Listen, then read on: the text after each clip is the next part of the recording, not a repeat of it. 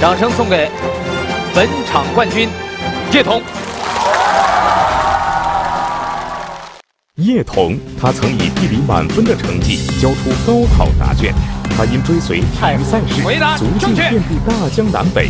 如今他不负众望，拔得头筹。在总决赛中，他能否延续荣耀，一马当先呢？今天从第二轮的一开始，一直碾压着、碾压着，到最后走到了冠军的宝座上，而叶童也成为了。我们这一场的总冠军，并且将直接晋级总决赛，去争夺本季总冠军。